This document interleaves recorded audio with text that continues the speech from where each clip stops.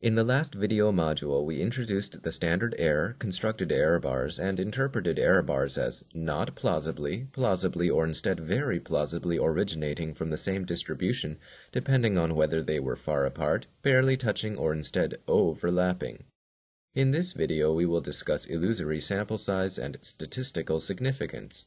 It is important to review this discussion because the inappropriate application of the square root n formula for the standard error can lead to the plotting of error bars and conclusions about statistical significance that are faulty. Consider a two-channel fluorescence image in which cellular nuclei are visible in the blue channel and single-cell copy numbers of a molecular species of interest can be assessed by counting dots in the pink channel. These four blue circles represent the single-cell copy numbers of pink dots in four different individual cells in this fluorescence image.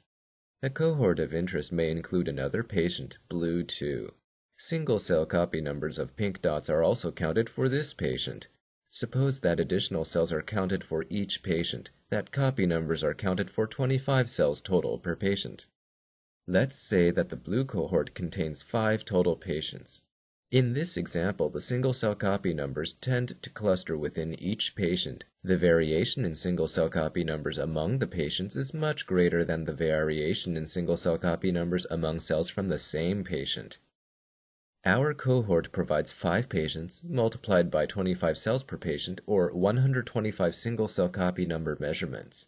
However, this clearly does not imply having 125 statistically independent measurements. Knowledge of the single-cell copy number in one cell very precisely specifies the single-cell copy numbers of all other cells imaged from the same patient. In actuality, we have only five statistically independent measurements, at most. Using, for example, only the first sample from each patient, we can generate a sample mean, and by inserting a sample size of n equals 5 into the square root in the denominator of the standard error formula, draw error bars of appropriate size. Consider a second cohort.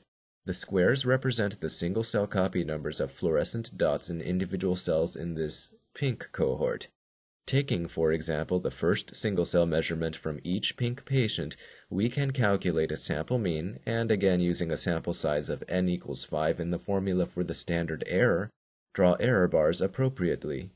Again, we are recognizing that single-cell measurements cluster within each patient, so we have not 125 statistically independent measurements from the 5 patients, but instead only 5 statistically independent data points at most. We were able to determine appropriate sample sizes for these cohorts because we plotted single-cell measurements and saw that they clustered within each patient. Had we not inspected the dataset in detail, we might not have noticed this feature, and we might have negligently assumed that we had as many statistically independent data points as we had total single-cell measurements, meaning 125 measurements for each cohort.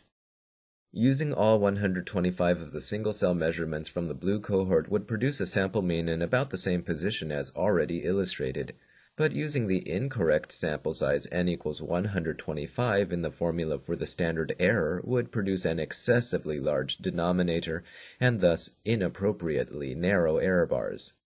In the same way, a failure to plot or otherwise investigate in detail the single-cell measurements from the pink cohort could lead to an incorrect use of a sample size of n equals 125 that would lead us to draw inappropriately narrow error bars around the pink sample mean. The accurately drawn error bars are barely touching. Using these error bars, we would find it plausible that the blue and pink sample means were drawn from the same distribution, and in this sense the blue and pink cohorts agree. In contrast, the inaccurately drawn error bars marked with X's are far apart, nowhere near overlapping. As described in the previous video, we ascribe to such a situation a probability value less than 5%, and so the disagreement between the sample means would be regarded as statistically significant. This conclusion would be incorrect. The sample size n in the expression for a statistic often refers to the number of statistically independent samples rather than simply the total number of samples per se. This is because many of the formulas used routinely in laboratory error analysis are derived using the identity that states that the variance of the sum equals the sum of the variances, and this identity comes from the assumption of statistical independence. In this slide deck on sample estimates, we introduced the standard error, we compared error bars, and we cautioned against the use of incorrect sample sizes n in the formula for the standard error because such sample sizes could lead to erroneous conclusions regarding statistical significance.